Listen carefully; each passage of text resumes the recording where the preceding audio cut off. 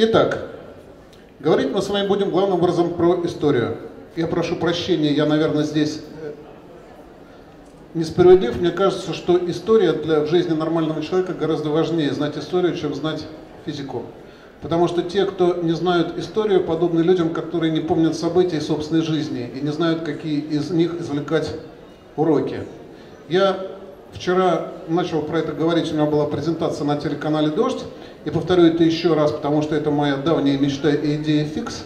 Я бы предоставлял избирательное право не тем, кто достиг 18 лет, а тем, кто сдал тест и экзамен на право называться гражданином. И было бы там два теста. Один на знание собственной конституции, а второй на знание собственной истории.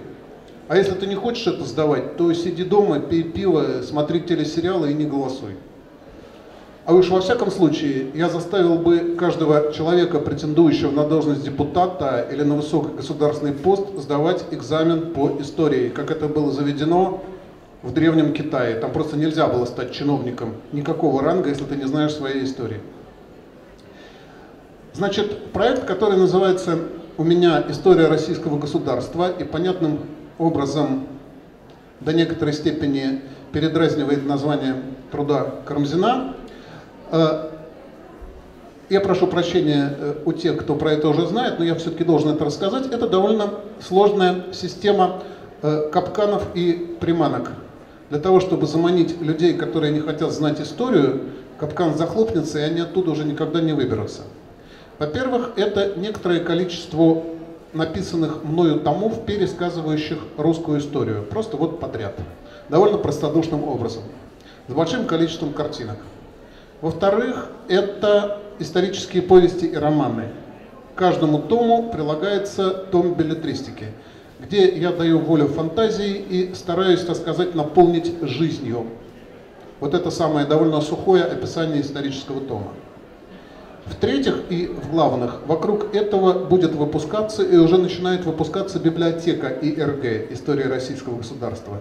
Это лучшие произведения, документы и материалы по каждому периоду. И всякий, кто заинтересуется этим периодом, вовсе не обязан ограничиваться тем, что ему про это рассказываю я. Заинтересовался, вот тебе, пожалуйста, то лучшее, что, на мой взгляд, здесь есть. Читай, углубляйся, составляй собственное суждение. Вот это составление собственного суждения об истории, на мой взгляд, является самым важным во всем моем проекте.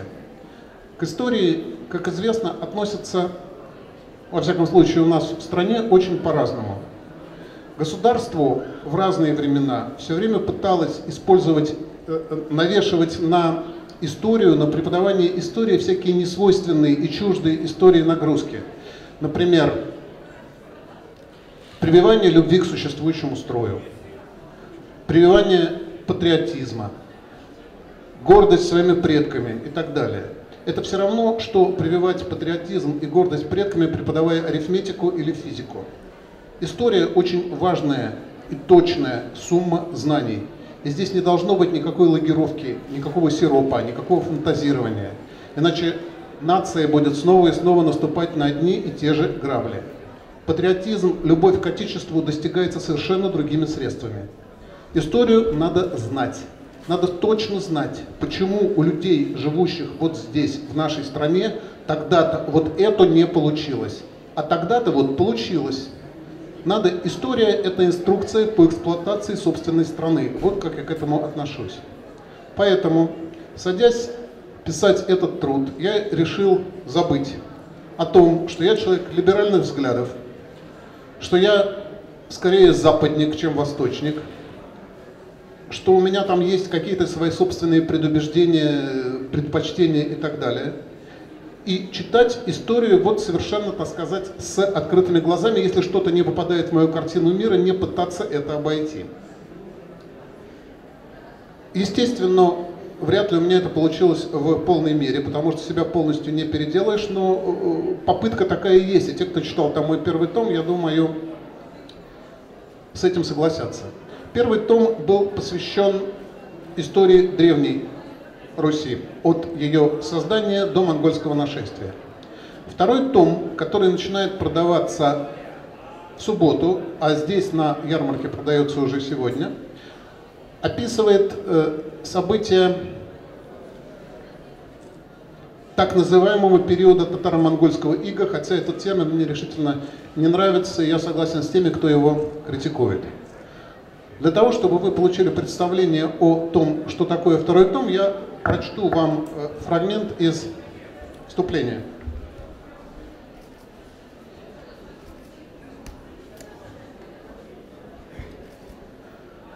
Называется, э, первый том назывался «Часть Европы», второй том называется «Часть Азии». Том «Часть Азии» описывает тот период отечественной истории, когда Руси, можно сказать, не было. Жили люди, говорившие по-русски, соблюдались русские обычаи, сохранялась русская вера, но страны не существовало. И долго не существовало, два с лишним века, с 1238 года до середины 15 столетия. В биографии всякой страны есть главы красивые, ласкающие национальное самолюбие, и некрасивые, которые хочется забыть или мифологизировать. Эпоха монгольского владычества в русской истории самая неприглядная. Это тяжелая травма исторической памяти, времена унижения, распада, потери собственной государственности. Писать и читать о событиях 13-15 веков – занятие поначалу весьма депрессивное. Однако постепенно настроение меняется. Процесс зарубцевания ран, возрождения волнует и завораживает. В нем есть нечто от русской сказки. Русь окропили мертвой водой, затем живой, и она воскресла и стала сильнее прежнего. Татаро-монгольское завоевание принесло много бед и страданий. Но в то же время оно продемонстрировало жизнеспособность страны, которая выдержала ужасные испытания и сумела создать новую государственность вместо прежней погибшей. Этот исторический период невероятно труден для пересказа, потому что события запутаны и хаотичны, а свидетельства хроник противоречивы. В летописях много эмоционального и предвзятого, а стало не вызывающего доверия. Чтение позднейших исторических сочинений не помогает разобраться, где истина и где вымысел, а часто наоборот вводит еще большее заблуждение. В отечественных описаниях обычно преувеличиваются численность сил вторжения и упорство сопротивления. Чувствуется желание словно бы оправдать предков, не сумевших выстоять, выстоять в борьбе с чужеземными захватчиками. И действительно, если воспринимать Батыева нашествие как победу чужих над нашими, получается обидно. Татаро-монгольская ига, в кавычках, было не чужеземным завоеванием, а этапом формирования российской государственности, которая обогатилась важным компонентом. Это наши воевали с нашими же. Точно так же с позиции современных британцев выглядит война нормандцев с англосаксами в XI веке. Поэтому, на мой взгляд, правильнее было бы считать потрясения ордынского периода родовыми схватками государства, в котором мы с вами живем. Да, роды были мучительны, но без них не возникло бы России. Татары, являющиеся у нас такой же коренной народностью, как русские, до сих пор испытывают на себе мстительность древних поговорок. Историческая, историческая память языка удивительно живуча. Незваный гость хуже татарина, говорят у нас, уже не помня, что когда-то имелись в виду разбойничьи наезды ордынских сборщиков Дани – Присказка того же происхождения «нам, татарам, все даром» уцелела должно быть благодаря удачной рифмовке. Слово «татарщина» долго употреблялось в значении варварства, дикость. О домашнем беспорядке могут сказать, будто Мамай прошел. Редкий случай, когда происхождение поговорки можно датировать с точностью до года 1380 -го. Ладно, язык не имеет автора. Он такой, какой сложился – но странно читать у потомка ордынца Карамурзы, историка Карамзина, фразы вроде «татары не знали правил чести». Еще как знали, просто эти правила не совпадали с русскими. Да и наш язык при внимательном рассмотрении оказывается сильной примесью татарскости. Множество слов, которые мы воспринимаем как исконно русские, пришли из Орды. Деньги, башмак, аршин, алтын, сундук, казна, таможня, базар, барыш, армяк, табун. Все не перечислить. В общем, нашему взгляду на отечественную историю давно пора бы избавиться от антитатарской предвзятости. На протяжении двух с лишним веков Русь была частью азиатской державы. Собственно, мы и сегодня являемся страной в географическом смысле по преимуществу азиатской. Достаточно посмотреть в атлас, чтобы убедиться. Границы современной России совпадают скорее с контуром империи Чингисхана, нежели с Киевской Русью.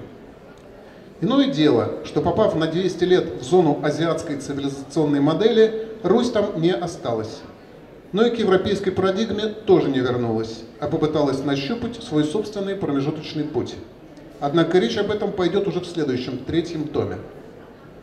Напоследок же, прежде чем вы приступите к чтению, хочу повторить слова, которыми монах Лаврентий завершил свою летопись, названную в его честь Лаврентьевской – где описал или переписал, или не дописал, чтите, исправляя Бога ради, а не кляните. За неже книги ветшаны, а ум молод. Не дошел.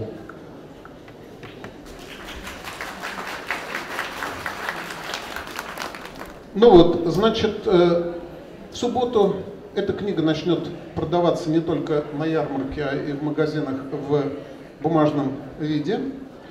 Э, одновременно с этим она выйдет в нескольких электронных форматах, в том числе иллюстрированном. И в то же время она э, выйдет в аудио формате. Ее читает замечательный Александр Клюквин, который читал и первый том. Еще вот что я только хочу сказать. В прошлом году э, том исторический, том билетристический вышли одновременно.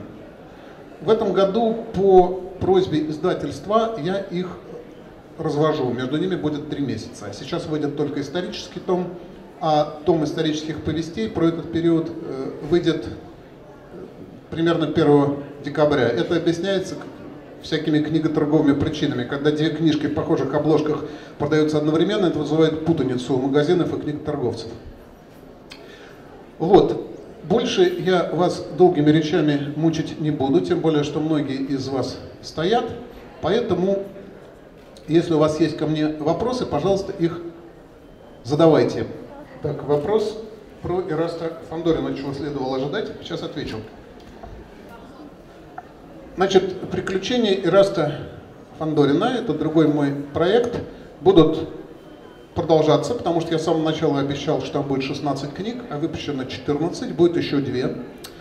Следующая в издательстве, в другом издательстве, в издательстве Захаров, должна э, выйти в апреле следующего года. Скажите, пожалуйста, а как вы относитесь к критике, когда вас критикуют, ругают, обвиняют, там, говорят, что на вас работает куча литературных негров, ну, злых языков много. Как вы а на это реагируете? Смотри, какая критика. Если это критические статьи в прессе, то я обычно их не вижу, потому что у меня все, что про меня пишет, читает жена, и дает мне только приятное. Вот. Э, что касается литературных негров, на меня работает, я уже так давно работаю, что хотел бы хоть на кого-нибудь из них посмотреть. Уж за это время я обязательно с кем-то из них рассорился бы, и он устроил бы э, скандал, что-нибудь там потребовал бы. К сожалению, такой вот я графоман. Все, что я пишу, я пишу сам, а просто потому, что я ничего другого делать не умею и не знаю, чем себя занимать в свободное время. Я бы хотела узнать, какое у вас впечатление складывается об истории нашего государства, потому что кто-то пишет ее как историю побед, кто-то как историю случайности или предательства. Как вам кажется, что у нас больше происходит и какое впечатление? Вопрос все слышали, да? знаете, я э, часто про это думаю. Потому что по мере того, как я знакомлюсь с историей Отечества, у меня э, представление о вкусе российской истории меняется. Дело в том, что э, мы э, делимся, мы имеем склонность к двум крайностям. Или это значит что-то такое «ура-ура, мы всех победили», или это «кошмар-кошмар, трагичнее нашей истории на свете нету». И вот как-то вот посередине что-то вот не очень получается.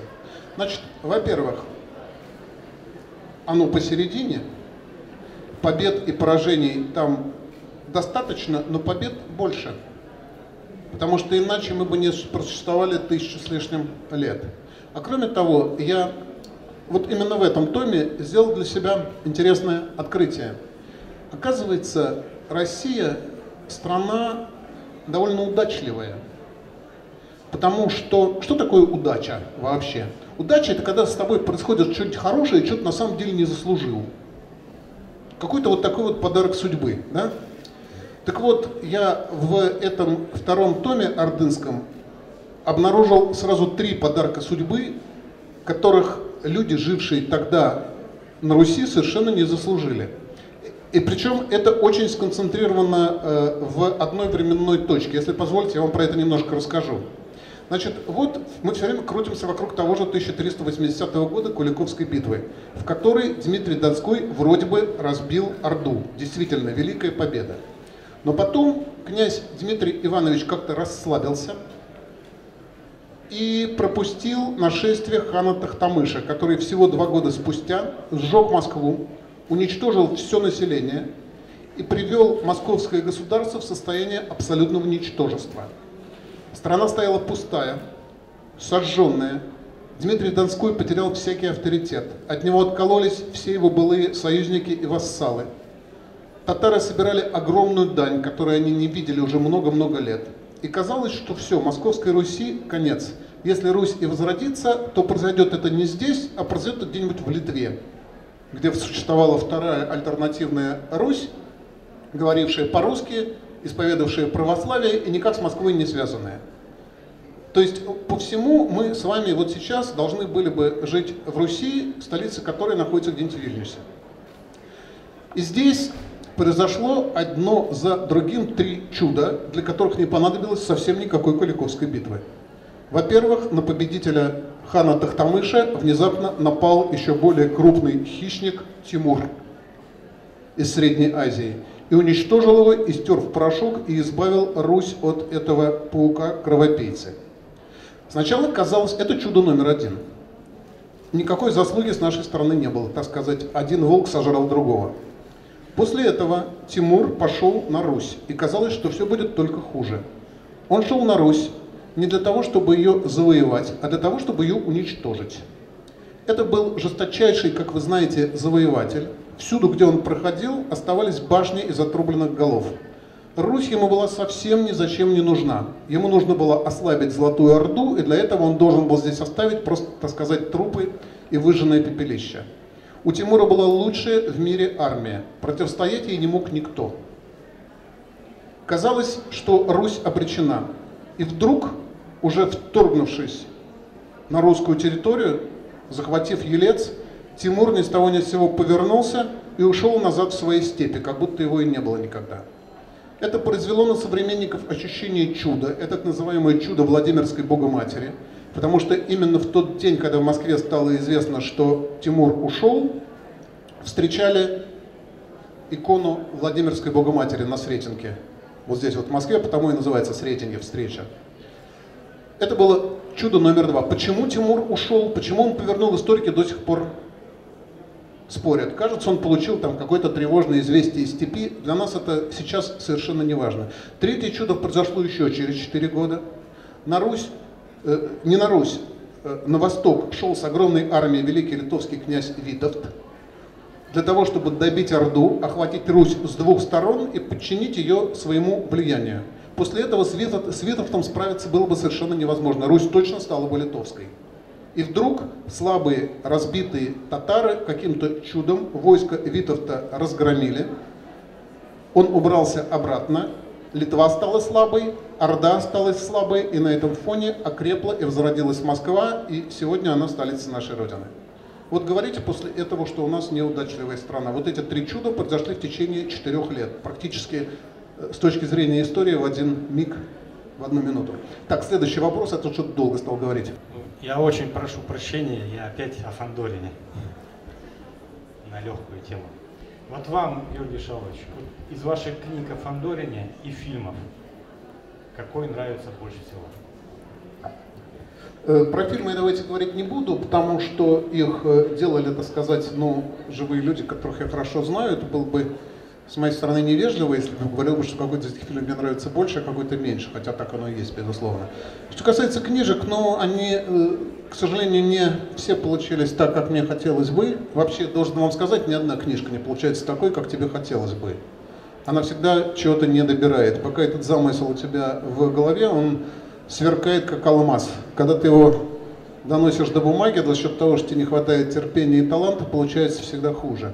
Я э, книжки все свои, в том числе и фандоринские, делю по тому, сколько расплескалось по дороге. Там есть книжки, которые я в руки никогда не беру, потому что, ну, я вижу, что не, тоже не буду про них говорить, потому что это получается как вроде там у многодетного родителя, думаю, что вот это нет, вот этот ребенок у меня не получился, вы посмотрите на него. Ну, не получился.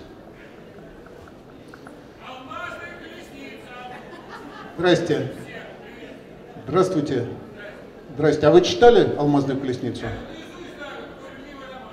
Хорошо. Хорошо. Дмитрий Быков читал «Алмазную колесницу». Ладно, я вас тоже читал, не хвастайтесь. Следующий вопрос. Пожалуйста.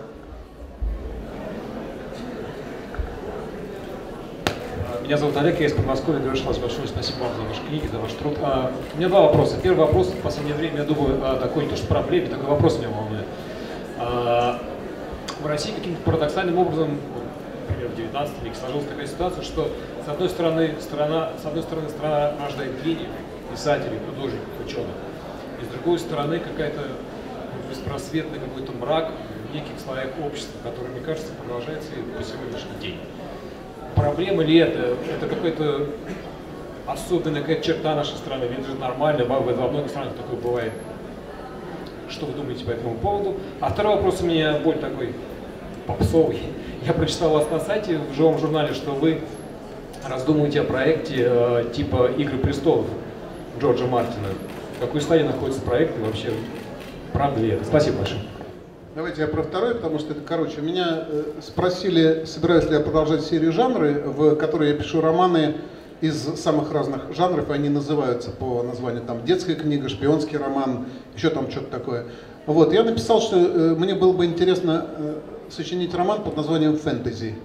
У меня придуман там в голове целый мир, которого на самом деле нет, фантазийный, да, до некоторой степени похожий на «Игру престолов». Ну, черт его знает, когда у меня до этого руки дойдут, потому что у меня сейчас полно всяких занятий, которые увлекают меня больше. Э, первый вопрос был про... Почему мы такие темные?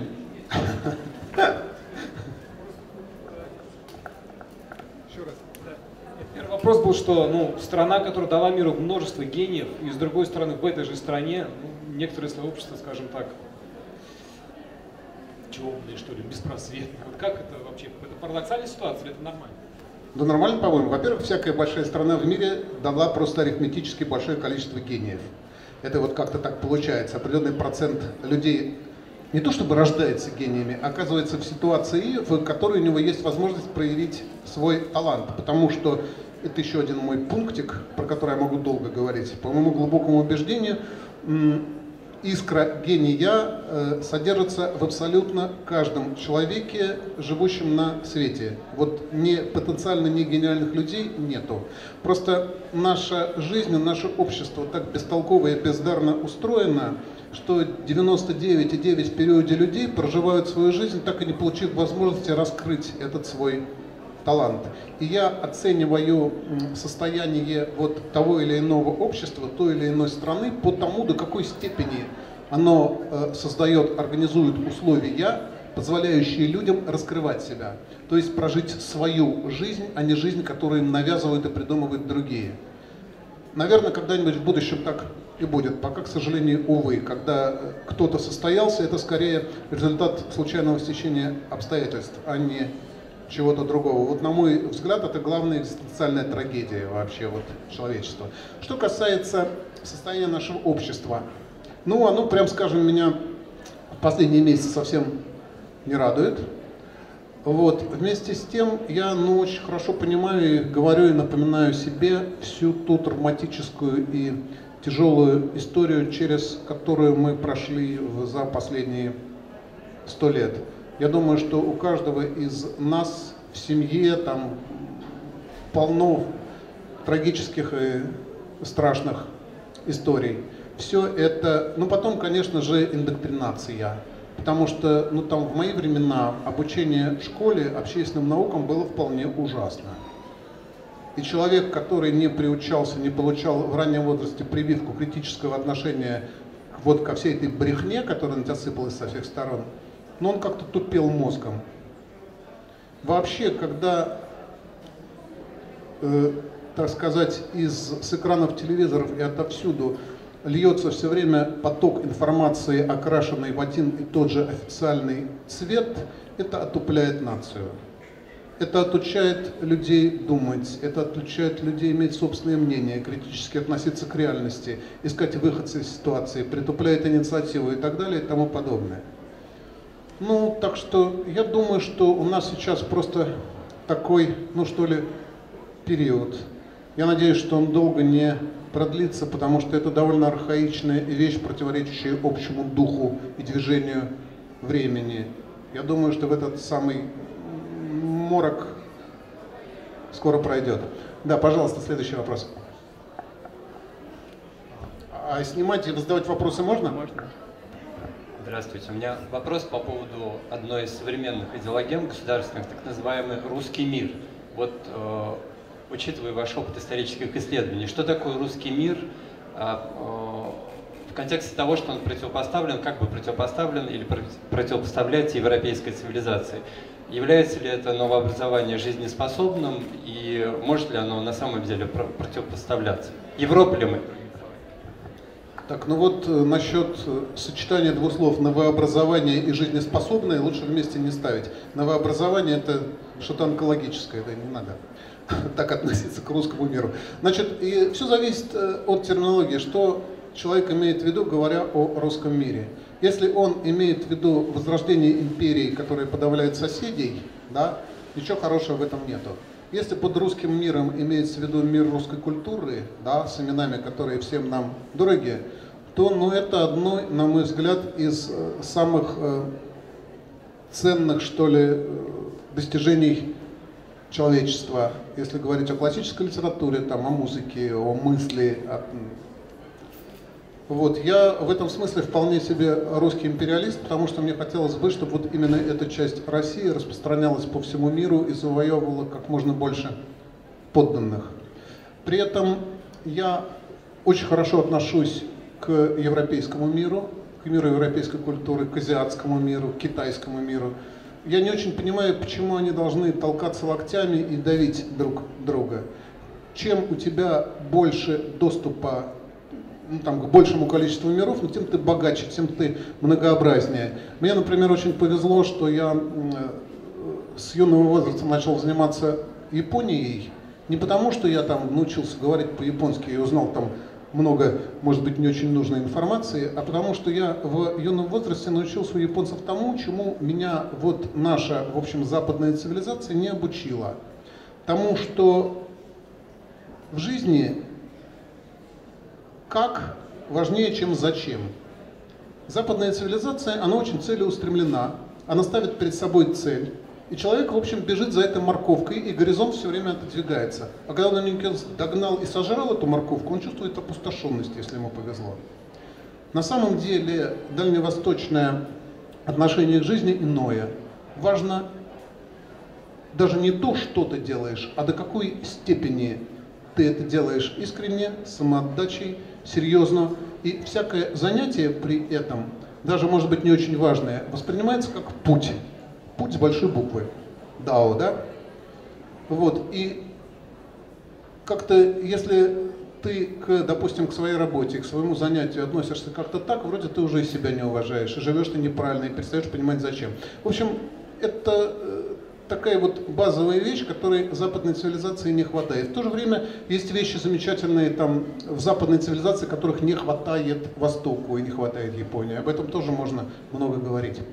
Да, пожалуйста. Кутагаву я люблю.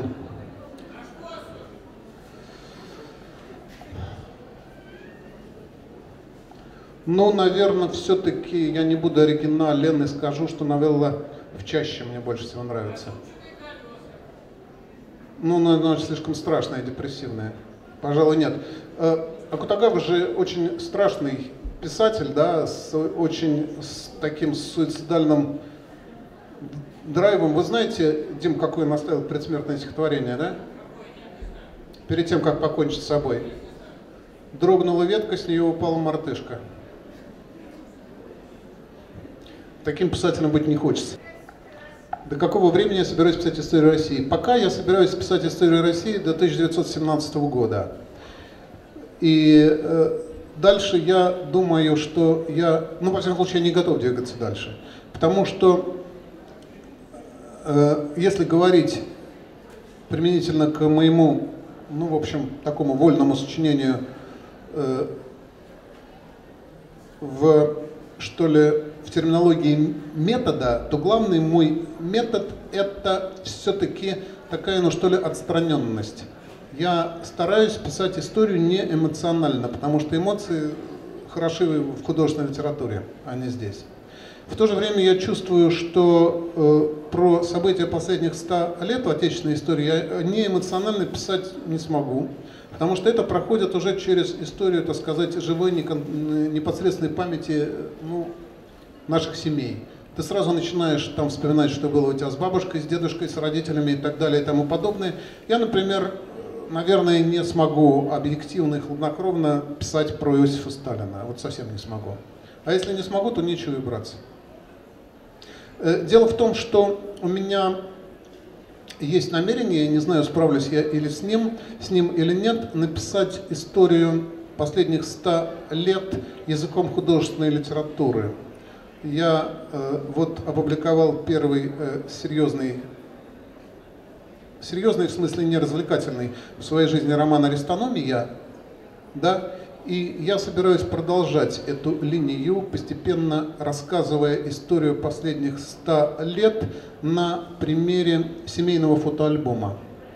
Вот я не знаю, у вас, наверное, тоже есть дома такой вот какой-нибудь пухлый альбом в бархатном, там с какой-нибудь розой или с чем-нибудь таким, и там фотографии каких-то людей. Некоторых из них вы знаете, это бабушки, дедушки. Какие-то люди, имена которых забылись, никто вам не скажет, кто они такие, что с ними произошло. Меня всегда завораживают эти снимки, мне очень хочется знать, что там с кем произошло. Вот, например, видишь фотографию там каких-нибудь выпускников там реального училища или гимназии времен Первой мировой войны, смотришь в эти лица и думаешь, господи, что же вот с тобой вот потом произошло, а с тобой что произошло? И очень редко ты что-то про это узнаешь. Мне хочется провести вот эту вот, что ли, ну, реконструкцию воссоздать вот целый такой мир, раскрывающийся из фотоальбома одной семьи за последние сто лет. Хотя это нас уже далеко уводит от проекта ИРГ. Так, дальше, пожалуйста.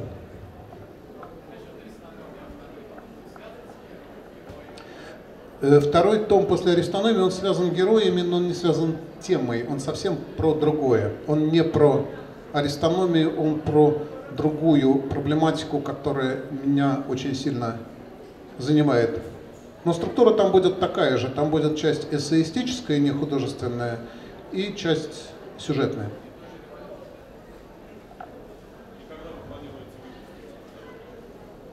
Когда я планирую выпустить, дело в том, что в отличие... Я человек планового хозяйства, я сформировался при социализме и мыслю категориями пятилеток, но э, я очень э, четко разделяю два вида литературной деятельности. Билетристическую и небилетристическую. Значит, билетристика – это вещь архитектурная, планируемая, там все делается у меня по плану, все делается очень технологично. Что касается серьезных романов, пока я написал только один, там я ничего не планирую, я себя не подгоняю, если я чувствую, что я, мне надо остановиться, я его откладываю, он может лежать и год, и два. То есть я не могу сказать. Вот как пойдет. Если вдруг захочется, я, он у меня написан уже наполовину. А потом я почувствовал, что нет, мне надо остановиться. Ну пусть лежит, значит что-то должно там во мне дорасти, там созреть, поумнеть, не знаю.